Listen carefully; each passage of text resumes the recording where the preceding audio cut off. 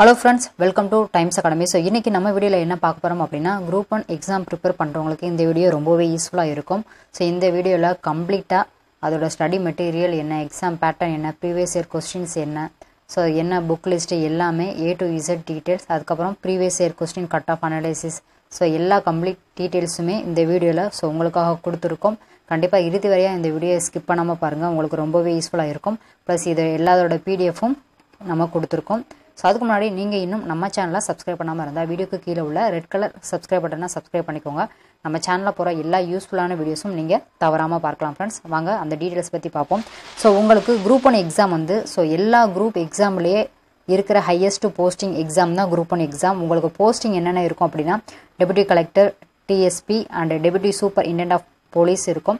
அதுக்கப்புறம் assistant commissioner Tamil Nadu commercial taxes service அதுக்கப்புறம் district register Tamil Nadu registration service district employment officer இருக்கும். So அதுக்கப்புறம் fire and rescue officer இருக்கும். So எல்லா group எக்ஸாம்லேயே highest posting அப்படின்னா group one examination தான். So இதை இந்த எக்ஸாமுக்கு prepare பண்ணுறவங்களுக்கான A to Z complete details எல்லாமே நம்ம கொடுத்துருக்கோம். ஸோ அதை எப்படி எக்ஸாம் வந்து உங்களுக்கு வந்து எப்படி ப்ரிப்பேர் பண்ணால் எப்படி ஈஸியாக வந்து நீங்கள் ஸ்கோர் பண்ணி எலிஜிபிள் ஆகலாங்கிறத பார்ப்போம். ஸோ ஃபஸ்ட்டு வந்து உங்களுக்கு தெரிஞ்சுக்க வேண்டியது என்ன அப்படின்னா அந்த குரூப் ஒன் எக்ஸாமினேஷன் இதோட பேப்பர் பேட்டர்ன் என்ன அப்படின்னா ஸோ இதில் வந்து எவ்வளோ கொஸ்டின்ஸ் கேட்குறாங்க ஸோ டூரேஷன் டைம் என்ன? எவ்வளோ எலிஜிபிள் மார்க் ஃபார் அதுக்கப்புறம் நெக்ஸ்ட் லெவல் செலெக்ஷனுக்கு மெயின் எக்ஸாமினேஷனுக்கு போக வேண்டிய மார்க் என்ன? ப்ளஸ் இதோட சிலபஸ் என்ன? ஒவ்வொரு டாப்பிக்லேயும் என்னென்ன சிலபஸ் எதை நம்ம கவர் பண்ண போகிறோம் அதுக்கப்புறம் ஸோ எங்கே எங்கே வந்து நம்ம புக்கு ரெஃபர் பண்ண போகிறோம் புக் டு ரெஃபர் ஸோ அதுக்கப்புறம் கரண்ட் அஃபேர் டிஎன்பிஎஸ்சி எல்லா எக்ஸாம்லையும் கரண்ட் அஃபேர் ரொம்ப முக்கியமானது. So previous year questions paper என்ன? அதுக்கப்புறம் ட்ரை மார்க் டெஸ்ட் அதை வச்சு மார்க் டெஸ்ட் என்ன பண்ணலாம் அப்படின்னு பார்ப்போம். ஸோ ஃபஸ்ட்டு வந்து ப்ரிலிமினரி எக்ஸாமினேஷன் அப்படின்னா உங்களுக்கு full and full objective type தான் இருக்கும். ஸோ உங்களுக்கு வந்து பார்த்தீங்கன்னா இதில் வந்து single paper general studies objective type உங்களுக்கு ஜென்ரல் ஸ்டடீஸ் டிகிரி ஸ்டாண்டர்டில் கேட்பாங்க. ஸோ அது நூற்றி ஐம்பது கொஸ்டின்ஸ் இருக்கும். அதுக்கப்புறம் ஆப்டிடியூட் மென்டல் அபிலிட்டி அது வந்து எஸ்எஸ்எல்சி ஸ்டாண்டர்ட் டென்த்து ஸ்டாண்டர்டில் கேட்பாங்க. அந்த லெவலில் கேட்பாங்க. ஸோ அது ஐம்பது கொஸ்டின் ஸோ மொத்தம் இரநூறு கொஸ்டின் மூணு மணி நேரம் இருக்கும். மேக்ஸிமம் மார்க் முந்நூறு மார்க் ஓகேங்களா இரநூறு கொஸ்டின் முந்நூறு முந்நூறு மார்க் உங்களுக்கு மினிமம் குவாலிஃபைங் மார்க் ஃபார் செலெக்ஷனுக்கு எஸ்சி எஸ்சிஏ எஸ்டி அவங்களுக்குலாம் தொண்ணூறு மார்க்கு ஸோ அதர்ஸ் உள்ளவங்களுக்கு நூற்றி இருபது மார்க் இருக்கும். அதுக்கப்புறம் கொஸ்டின் வந்து தமிழ்லையும் இருக்கும் இங்கிலீஷ்லையும் இருக்கும். ஸோ அடுத்து வந்து இதில் எலிஜிபிள் ஆகிறவங்க உங்களுக்கு next round main written examination இது வந்து அப்ஜெக்டிவ் டைப் இருக்காது. இது டிஸ்கிரிப்டிவ் டைப் நம்ம வந்து எழுத போகிறோம் ஸோ ஓகேங்களா இதில் வந்து ஜென்ரல் ஸ்டடீஸ் பேப்பரும் மூணு பேப்பர் இருக்கும். ஸோ மூணுமே மூணு மணி நேரம். மேக்ஸிமம் மார்க் இரநூத்தி ஐம்பது இரநூத்தி ஐம்பது இரநூத்தி ஐம்பது. ப்ளஸ் இன்டர்வியூ ரெக்கார்டு நூறு. ஸோ மொத்தம் எண்ணூற்றம்பது மார்க் இருக்கும். இதில் வந்து minimum qualifying mark for selection பார்த்தீங்கன்னா எஸ்சி எஸ்சி எஸ்டி ஸோ அவங்களுக்குலாம் இரநூத்தி ஐம்பத்தி அஞ்சு. அதுக்கப்புறம் அதர்ஸ் பார்த்தீங்கன்னா முந்நூற்றி நாற்பது. ஸோ இதுவுமே உங்களுக்கு வந்து மெயின் ரிட்டன் எக்ஸாமினேஷன் கொஷின்ஸ் வந்து தமிழ் இங்கிலீஷ் ரெண்டுலுமே இருக்கும். உங்களுக்கு அடுத்து வந்து குவாலிஃபிகேஷன் டீட்டெயில்ஸ் பார்த்துருவோம் நம்ம. இதில் வந்து கண்டிப்பாக உங்களுக்கு வந்து எஜுகேஷன் குவாலிஃபிகேஷன் பொறுத்தவரை நீங்கள் கண்டிப்பாக டிகிரி முடிச்சிருக்கணும். ஸோ ஏஜ் வந்து டுவெண்ட்டி ஒன் அதுக்கப்புறம் thirty two thirty five thirty seven category வைஸாக இருக்கும். ஸோ உங்களுக்கு ப்ரிலிம்ஸ் சிலபஸ் பொறுத்தவரையாக உங்களுக்கு வந்து அந்த ஜென்ரல் ஸ்டடீஸ் சயின்ஸில் வந்து நீங்கள் physics chemistry botany zoology cover பண்ணுற மாதிரி இருக்கும். அதுக்கப்புறம் கரண்ட் அஃபேர் நடப்பு நிகழ்வுகள். ஸோ சமீபத்தில் என்னென்ன நடப்பு நிகழ்வுகள் நடந்தது? History polity geography economy science so அது ரிலேட்டடாக நீங்கள் வந்து கவர் பண்ணுறணும் ஸோ அதுக்கப்புறம் ஜாக்ரஃபி இருக்கும். அதுக்கப்புறம் history and culture of India so இது இல்லாமல் ஜென்ரல் ஸ்டடீஸ் ப்ரிலிம்ஸில் வந்து ஜென்ரல் ஸ்டடி நூற்றி ஐம்பது மார்க்குக்கு டிகிரி ஸ்டாண்டர்டில் கேட்குறாங்க ஸோ அதில் வந்து இந்த டாபிக் இருக்கும். இந்தியன் பாலிட்டி இருக்கும். ஸோ அதுக்கப்புறம் இந்தியன் நேஷனல் மூமெண்ட் இருக்கும். ஸோ அதுக்கப்புறம் உங்களுக்கு வந்து ஆப்டிடியூட் மென்டல் அபிலிட்டி ஸோ அது வந்து ஐம்பது மார்க் இருக்கும். ஸோ ப்ரிலிம்ஸை பொறுத்தவரையா நீங்கள் வந்து two hundred questions so three hundred மார்க்குக்கு எழுத போகிறீங்க ஸோ இதுக்கு உண்டான சிலபஸோட பிடிஎஃப் அதுக்கப்புறம் ஸ்டடி மெட்டீரியலோட பிடிஎஃப் அதுக்கப்புறம் previous year questions paper so இதுக்கு முன்னாடி குரூப் ஒன் எக்ஸாமுக்கு கொஸ்டின்ஸ் கேட்டிருப்பாங்களே ஸோ அதோட எல்லா லிஸ்ட்டும் பார்ப்போம். ஸோ ஆல்ரெடி நம்ம டைம்ஸ் அகாடமி சேனலில் TNPSC group one two thousand நைன்டீங்கிறது syllabus PDF study material PDF previous year questions and answer PDF so இது சம்மந்தமாக ஆல்ரெடி நம்ம வீடியோ போட்டிருக்கோம். ஸோ இதில் கம்ப்ளீட்டாக இந்த மூணுக்குள்ள பிடிஎஃபுமே இருக்கும். ஸோ இந்த வீடியோ உங்களுக்கு ரொம்ப யூஸ்ஃபுல்லாக இருக்கும். இந்த வீடியோவோட லிங்க்கு நான் கீழே டிஸ்கிரிப்ஷனில் கொடுத்துருக்கேன். இதை நீங்கள் கிளிக் பண்ணிங்க அப்படின்னா syllabus study material previous year question and answer so எல்லா டீட்டெயில்ஸும் பார்த்துக்கலாம். ஸோ அடுத்து வந்து டிஎன்பிசி எக்ஸாமை பொறுத்தவரை உங்களுக்கு டைம் மேனேஜ்மெண்ட் ரொம்ப ரொம்ப முக்கியம். ஏன்னா நீங்கள் வந்து two hundred question three hundred mark objective பண்ணும்போது ஸோ ஒவ்வொரு கொஸ்டினுக்கும் உண்டான டைம் ரொம்ப ரொம்ப முக்கியம். ஸோ அதனால் நீங்கள் வந்து ஸோ இதில் நம்ம previous year questions paper question answer கொடுத்துருக்கோம். நீங்கள் ஒவ்வொரு டாபிக் கவர் பண்ணும்போது ஒரு மார்க் டெஸ்ட் நீங்கள் வந்து டெய்லி ஒரு ப்ராக்டிஸ் பண்ணி பார்த்தீங்கன்னா உங்களுக்கு ரொம்பவே யூஸ்ஃபுல்லாக இருக்கும். ஸோ அதுக்கப்புறமா சிலபஸ் இருக்குது ஸோ சிலபஸோட பிடிஎஃபும் கொடுத்துருக்கோம் நம்ம. கீழே அதுக்கான வீடியோட லிங்க் நான் ஆல்ரெடி சொல்லியிருக்கோம்.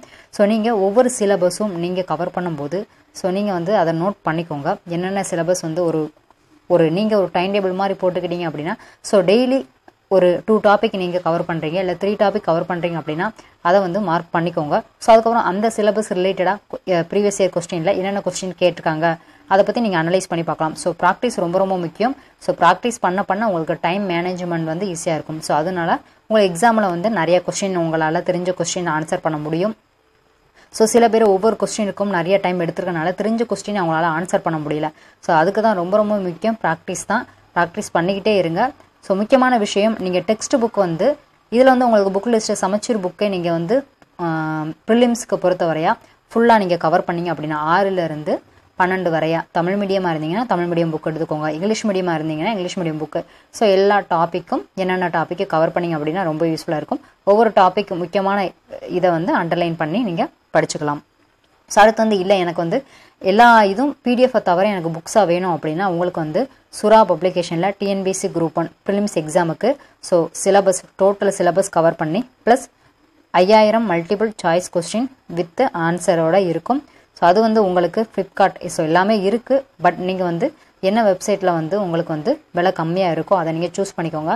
மேக்ஸிமம் சுறா பப்ளிகேஷன் ரொம்ப பெஸ்ட்டு இல்லைனா நீங்கள் சக்தி சூஸ் பண்ணிக்கலாம். ஸோ அதில் வந்து எல்லா சிலபஸும் நீங்கள் கம்ப்ளீட் பண்ணுற மாதிரி இருக்கும். புக்கு உங்க புக்கு உங்களுக்கு வந்து பேப்பர் பேக்காக இருக்கும். ஸோ இதில் வந்து வந்து பார்த்தீங்கன்னா இது ஃப்ளிப்கார்ட்டில் இரநூத்தி தொண்ணூறுரூபா கொடுத்துருக்காங்க. ஸோ அடுத்து வந்து முக்கியமான விஷயம் கரண்ட் அஃபேர் தான். கரண்ட் அஃபேர் பொறுத்த வரையா நீங்கள் தமிழ் மீடியமாக இருந்தீங்க. தமிழ் மீடியம் ஸ்டூடெண்ட்ஸ் வந்து ப்ரிப்பேர் பண்ணுவீங்க தமிழில். ஃபார் இங்கிலீஷ் மீடியம் ஸ்டூடெண்ட் இங்கிலீஷில் நீங்கள் ப்ரிப்பேர் பண்ணுவீங்க. ஸோ கரண்ட் அஃபேர் வந்து டிஎன்பிசி எல்லா எக்ஸாமுக்குமே ரொம்ப ரொம்ப முக்கியமானது. ஜிகே டுடே நீங்கள் வெப்சைட்டில் போனீங்க அப்படின்னா ஃபார் எக்ஸாம்பிள் கூகுளில் ஜிகே டுடே அப்படி டைப் பண்ணிங்க அப்படின்னா டெய்லி அன்னன்னைக்கு என்ன கரண்ட் அஃபேர்ஸோ அது வந்து நீங்கள் பிடிஎஃபாக படிச்சுக்கலாம். பிடிஎஃபாக டவுன்லோட் பண்ணி கூட நீங்கள் படிச்சுக்கலாம். இல்லை டேரெக்டாக நீங்கள் வந்து வெப்சைட்டில் இருந்தே நீங்கள் பார்த்துக்கலாம் ஸோ அந்தந்த மாதம் அன்னன்னைக்கு நிகழ்வுகள் என்ன நிகழ்வுகள்னு பார்த்துக்கோங்க ப்ளஸ் உங்களுக்கு வந்து அது அதை தவிர வேறு என்னன்னாலும் நீங்கள் வந்து அந்த கரண்ட் அஃபேர் ரிலேட்டடாக நீங்கள் படிச்சுக்கலாம். தமிழ் நியூஸ் பேப்பர் வந்து தமிழ் மீடியம் ஸோ நீங்கள் தமிழில் எக்ஸாம் எழுதுறீங்க அப்படின்னா ஸோ உங்களுக்கு வந்து தமிழ் நியூஸ் பேப்பர் உங்களுக்கு வந்து முக்கியமான விஷயம் என்ன அப்படின்னா தமிழ் நியூஸ் பேப்பர் வந்து தினத்தந்தி தினம் மணி ஸோ இதெல்லாம் நீங்கள் வந்து ப்ரிஃபர் பண்ணி படிச்சுக்கலாம். ஸோ இதை தவிர நீங்கள் வேறு எதுவும் யூஸ்ஃபுல்லாக இருந்தால் கூட அதை நீங்கள் படிச்சுக்கலாம். ஸோ அதுக்கப்புறம் முக்கியமான விஷயம் அப்படின்னா ரெண்டாயிரத்தி பதினஞ்சில் ஃபிலிம்ஸ் கட் ஆஃப் பார்க்கும்போது உங்களுக்கு வந்து இந்த ஜெனரல் மேல் ஃபீமேல் பார்க்கும்போது ஜெனரலில் வந்து இது வந்து ப்ரிலிம்ஸ் கட் ஆஃப் ஸோ உங்களுக்கு வந்து நூற்றி இருபது. ஸோ இதுலேருந்து ஒரு மூணு மார்க் கூடலாம் குறையலாம். ஸோ அந்த மாதிரி தான் கொடுத்துருக்காங்க. ஃபீமேலை பொறுத்தவரையா நூற்றி பத்தொம்போது. பிசி நூற்றி பதினேழு ஸோ ஃபீமேல் நூற்றி பதினாறு. ஒரு plus or minus three questions கூடலாம் குறையலாம் அந்த மாதிரி கொடுத்துருக்காங்க. ஸோ பிசிஎம் இது வந்து ரெண்டாயிரத்தி பதினஞ்சில் உள்ள கட் ஆஃப் மாதிரி கொடுத்துருக்காங்க. நூற்றி பதிமூணு அது நூற்றி பன்னெண்டு. ஸோ எஸ்சி நூற்றி பத்து நூற்றி பதினொன்று அதுக்கப்புறம் எஸ்டி பார்த்தீங்கன்னா நூற்றி அஞ்சு நூற்றி நாலு. ஸோ இதுதான். ஸோ இது இந்த மார்க் எடுத்து வந்து நெக்ஸ்ட்டு மெயின்ஸ் எக்ஸாமினேஷன்ஸ்க்கு கால்ஃபர் பண்ணியிருக்காங்க. ஸோ இது வந்து ரெண்டாயிரத்தி பதினாலு உள்ளது. இது வந்து பார்த்தீங்கன்னா மேல் ஃபீமேல் ஜெனரல் நூற்றி இருபத்தி நூற்றி இருபத்தி ரெண்டு. So plus or minus three questions இருக்குது ஃபீமேல் நூற்றி இருபத்தி ஒன்று ஸோ பிசி பார்த்தீங்கன்னா நூற்றி இருபது. எம்பிசி நூற்றி பத்தொம்போது. பிசிஎம் நூற்றி பதினாறு. ஸோ எஸ்சி நூற்றி பன்னெண்டு. எஸ்டி நூற்றி ஆறு. ஸோ இந்த ரேஞ்சில் இருக்குது ஸோ அப்ராக்சிமேட்டாக நூற்றி இருபது கொஸ்டின்ஸ் ஆன்சர் பண்ணுறவங்க ஸோ அடுத்த மெயின் எக்ஸாமினேஷனுக்கு கண்டிப்பாக கால்ஃபர் பண்ணுவாங்க. இது வந்து பார்த்தீங்கன்னா கொஸ்டின் அனாலிசிஸ் மேக்ஸில் ஆப்டிடியூட் ரீசனிங்கில் ஐம்பது மார்க் ஐம்பது மார்க் கேட்டிருக்காங்க. கரண்ட் அஃபேர் பொறுத்தவரையா முப்பத்தி ஒம்பது மார்க் நாற்பத்தி ரெண்டு.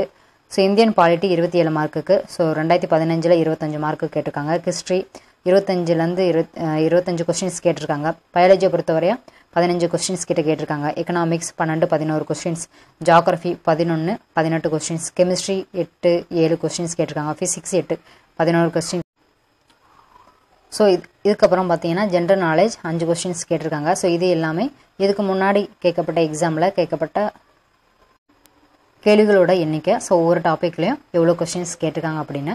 ஸோ இதுலேருந்து நம்மளுக்கு எந்த டாப்பிக்கில் அதிக கொஸ்டின் கேட்குறாங்க? ஸோ அதை ஃபஸ்ட்டு வந்து கான்சன்ட்ரேட் பண்ணுங்கள் so already syllabus study material PDF previous year question paper already நம்ம அதுக்கான வீடியோ போட்டிருக்கோம். அந்த வீடியோவோட லிங்க்கு நான் கீழே டிஸ்கிரிப்ஷனில் கொடுக்கேன். அந்த வீடியோ உங்களுக்கு ரொம்ப யூஸ்ஃபுல்லாக இருக்கும். ஸோ உங்களுக்கு தேவையான எல்லா மெட்டீரியலும் அதுலேருந்து நீங்கள் எடுத்துக்கலாம். ஸோ இந்த வீடியோ வந்து கண்டிப்பாக உங்களுக்கு ரொம்ப யூஸ்ஃபுல்லாக இருந்திருக்கும். கண்டிப்பாக இதை ஃபாலோ பண்ணீங்களா அப்படின்னாலே ஈஸியாக நீங்கள் ப்ரிலிம்ஸை வந்து கிளியர் பண்ணலாம். டிஎன்பிசி எக்ஸாம் பொறுத்தவரை ப்ரிலிம்ஸில் நீங்கள் எந்த கேட்டகரியாக இருந்தாலும் பரவாயில்ல. கன்ஃபார்மாக நூற்றி இருபதுலேருந்து நூற்றி முப்பது கொஷின்ஸ் கன்ஃபார்மாக நீங்கள் வந்து கரெக்ட் ஆன்சர் பண்ணியிருந்தீங்க அப்படின்னா ஸோ மெயின் எக்ஸாமி மெயின் எக்ஸாமினேஷனுக்கு நீங்கள் வந்து சந்தேகமே இல்லாமல் எலிஜிபிள் பர்சன் தான். ஸோ அதுக்கான வழிகள் தான் இந்த ஒரு கைடன்ஸ் தான் இந்த வீடியோ மூலமாக நம்ம கொடுத்துருக்கோம். ஸோ கண்டிப்பாக இதை ஃபாலோ பண்ணுங்கள் ஃப்ரெண்ட்ஸ் ஸோ இந்த வீடியோ உங்களுக்கு பிடிச்சிருந்தா லைக் ஷேர் சப்ஸ்கிரைப் பண்ண மறந்துடாதீங்க. வேறு ஏதாவது உங்களுக்கு டவுட் இருந்தால் கூட கமெண்ட் செக்ஷனில் கமெண்ட் பண்ணுங்கள் ஸோ அதற்கான வீடியோவும் நம்மளால் முடிஞ்சால் கண்டிப்பாக போடுவோம். நம்மளோட டைம்ஸ் அகாடமி சேனலில் ஸோ இந்த மாதிரி யூஸ்ஃபுல்லான வீடியோஸ் தொடர்ந்து அப்லோட் பண்ணிகிட்டே இருக்கும். ஸோ தொடர்ந்து வாட்ச் பண்ணுங்கள் தேங்க்ஸ் ஃபார் வாட்சிங் அண்ட் ஆல் த பெஸ்ட்